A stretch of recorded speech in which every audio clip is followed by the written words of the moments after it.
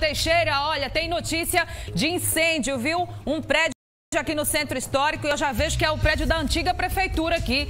No centro de João Pessoa, incêndio agora nas primeiras horas do dia. Juliana Teixeira está lá e vai trazer as primeiras informações para a gente. Bom dia, Juliana. Bom dia, Anne para você e para todos. Pois é, esse incêndio no início da manhã de hoje chamou a atenção de todo mundo que estava passando por aqui. Isso porque a gente está na Cardoso Vieira, aqui no Varadouro, que é passagem de ônibus, de carro, de todo mundo que vai para trabalho, né? Sendo que passou gente aqui e percebeu que lá em cima, lá no primeiro andar do prédio, havia sinal de fumaça, sinal de fogo. O Corpo de Bombeiros foi acionado rapidamente, já está aqui no prédio mas ainda existe bastante fumaça aqui pelo prédio. O incêndio começou lá em cima, lá no primeiro andar, onde funciona. Esse daqui é um prédio desativado da Prefeitura de João Pessoa. Já funcionou o Cine, já funcionou uma secretaria para marcação de exames, mas agora o prédio está fechado e estava servindo de espécie de depósito. O seu Sebastião, que trabalha aqui na prefeitura, é o vigilante daqui, foi o último a sair do prédio ontem à tarde, trancou o prédio, foi para casa e aí quando chegou hoje foi surpreendido por esse incêndio. Foi, seu Sebastião? Bom dia. É, isso aí vem acontecendo vários dias, né? E as pessoas estão tá subindo no prédio e tirando tudo que tem dentro do prédio. A gente ontem eu estava fechando a janela do prédio, né? Já. E só demos ali um portão, que eles arrombaram o portão, entraram e tudo. E quando foi hoje, ontem eu saí daqui era duas horas da tarde.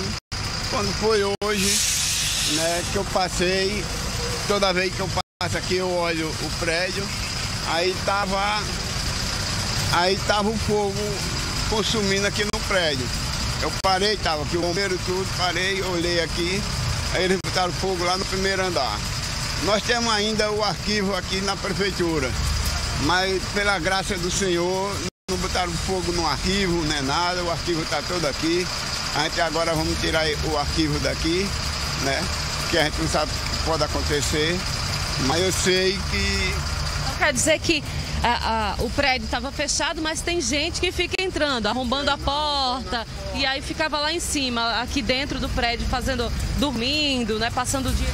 É verdade, é, eles ficam. O prédio fechado dele ficar roubando porta, roubando janela, tudo, e entrando, né? E, e aí acontecendo as coisas aqui dentro. O que é que tem lá em cima? O que é que tem nesse prédio? É uma espécie de depósito, tem documento, tem o que é que tem aí dentro? Lá em cima não tem mais nada. Tem uns travesseiros que era da Defesa Civil, está lá em cima ainda uma parte, e foi ali onde eles botaram fogo, naquela área ali.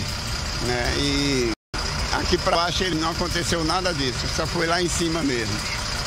Muito obrigada, então. A gente segue aqui acompanhando, mas se a gente abrir a imagem, você vê que a fumaça está saindo bastante. Os homens do Corpo de Bombeiros já estão lá dentro, né? Aram rapidamente para dominar aí as chamas e apagar as chamas. No entanto, bastante fumaça ainda toma conta do prédio. Se a gente aproximar um pouquinho a imagem, a gente vê, ó, lá dentro tem cadeira, tem madeira, tem até um extintor de incêndio logo ali na porta, mas com certeza sem ter ninguém dentro do prédio, como é, ficaria difícil, né? É, dar conta dessas chamas.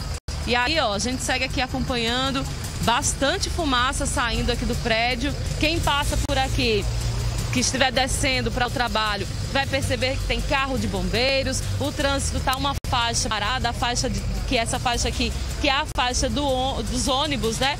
Tá, a faixa está tomada aqui pelos carros. A CEMOB está aqui para controlar o trânsito e ajudar quem estiver passando por aqui que estiver indo para o trabalho, né, 7 horas da manhã, já já isso daqui vai ficar tomado de carro. Então, quem estiver descendo em sentido à rodoviária, que tiver com problema no trânsito, vai saber agora que o problema é esse aqui, um incêndio que quase toma conta desse prédio da prefeitura. O corpo de bombeiros, os homens, o corpo de bombeiros estão lá dentro e já estão tomando conta da situação. A gente fica por aqui para aguardar, para saber quais são os possíveis fatores que possam ter contribuído para esse incêndio. Anne, já já eu volto contigo. Obrigada, Juliana. Daqui a pouco a gente volta com mais informações ao vivo aí do local, né, desse incêndio no centro da capital. Graças a Deus, parece que só danos materiais, mas mesmo assim é um dano muito importante para nós, né? Porque é um prédio histórico. Então, Juliana segue no local e a gente a pouco pode trazer alguma atualização, nova informação sobre essa primeira notícia do dia, tá? Sete e cinco da manhã. Eu também